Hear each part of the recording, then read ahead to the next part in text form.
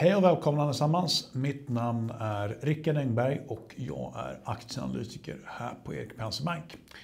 Igår hade vi temadag på banken med fokus mjukvara och tech, eller framförallt mjukvara, vilket är mitt fokusområde. Eh, jag tänkte sammanfatta dagen först i tre punkter och sen så lite kort nämna om de bolagen som var här. Den första punkten som jag tycker är väldigt intressant är att i princip samtliga bolag jag och mina kollegor har pratat med säger att man är relativt motståndskraftiga mot turbulens i ekonomin. Man har hittills inte sett, eh, en, sett någon minskad efterfrågan och man ser fortsatt att kunder är redo att köpa mjukvara. Jag tror det här beror på att många organisationer i dessa tider vill investera för att bli mer effektiva. En annan intressant aspekt som man har märkt på marknaden är att man sett ett skifte där väldigt snabbt växande men olönsamma bolag har roterats till förmån för bolag som är fortsatt växer snabbt men visar en lönsamhet. Eh, det här är ett intressant mönster men vi tror att på lång sikt så kommer många av de här snabbväxande bolagen vara väldigt intressanta då värderingarna har kommit ner kraftigt. Ytterligare en intressant aspekt om man blickar ut lite är att man tittar på SAS-värderingar globalt, framförallt i USA, så kan man notera att man nu handlar på historiskt låga nivåer. Och det här tycker vi är intressant för att de här nivåerna som man ser i dagsläget är bland de lägsta man sett på flera år. Vilket för en långsiktig gör det väldigt intressant att titta på sektorn. Tittar vi på bolagen som var här så kan vi börja med XM, XM Reality. Ett accessbolag som handlar kring 1,20 och vi ser ett motiverat värde på 3,90 till 4,10.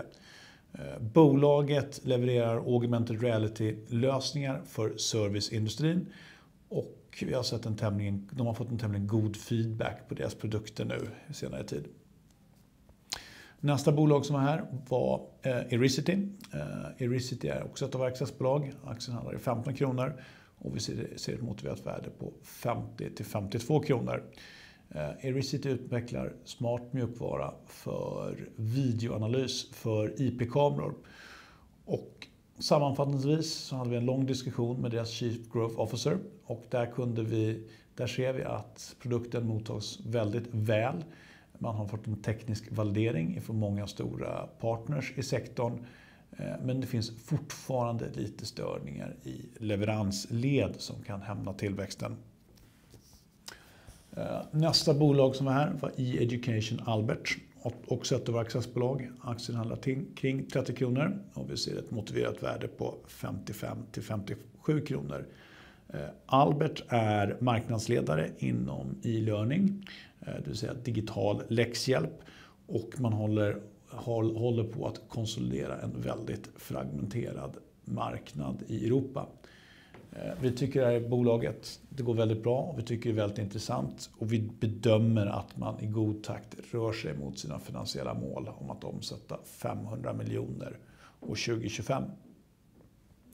Eh, nästa bolag som var här var Fingerprint Cards, också ett accessbolag. Aktien handlar i 8 kronor. Eh, vi ser ett motiverat värde på 26 till 28 kronor. Eh, Fingerprint Cards utvecklar fingeravtrycksläsare för, kort, eh, för telefoner, kort och dylikt. Om man ska sammanfatta lite vad de sa den här dagen så säger de att man tror att nedstängningarna som har påverkat försäljningen i Kina nu har bottnat ur och att det kan leda till att tillväxten accelererar.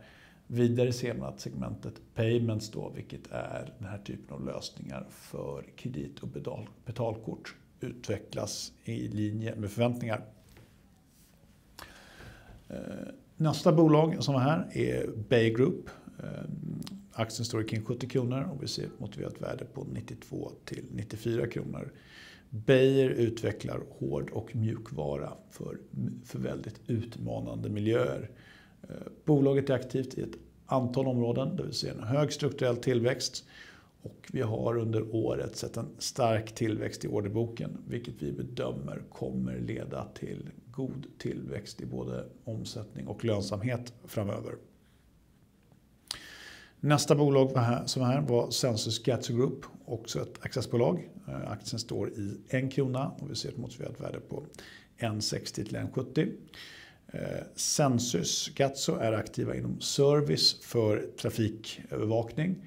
Och det här bolaget är intressant för man befinner sig i en resa där man rör sig från att vara ett eh, hårdvarubolag till att leverera mjukvara och lösningar. Eh, vidare så har bolaget cirka 40 utvecklare och en stor värdefull databas för ja, trafikmönster vilket är användbart inom till exempel stadsutveckling. Eh, nästa bolag som var här är Physitrack. Det är också ett accessbolag. Eh, aktien står i 36 kronor och vi ser ett motiverat värde i 60 till 65 kronor. Eh, Physitrack utvecklar mjukvara för bland annat fysioterapi och annan form av välmående.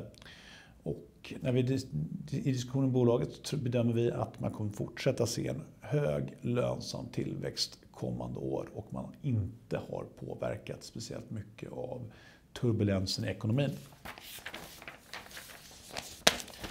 Eh, nästa bolag som var här var ett bolag som heter OneFlow.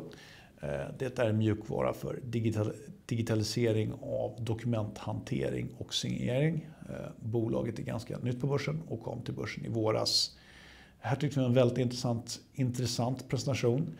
Vi ser att OneFlows produkter ger en hög avkastning på eh, investeringar hos slutkund vilket är positivt. Vi ser att bolaget har en väldigt stark net retention rate, det vill säga hur mycket man växer på befintlig kundstock. Och det här gör att vi tror att bolaget kan nå sina ambitiösa finansiella, finansiella mål och vilket för långsiktigt gör att bolaget ser väldigt intressant ut till dagens kurs.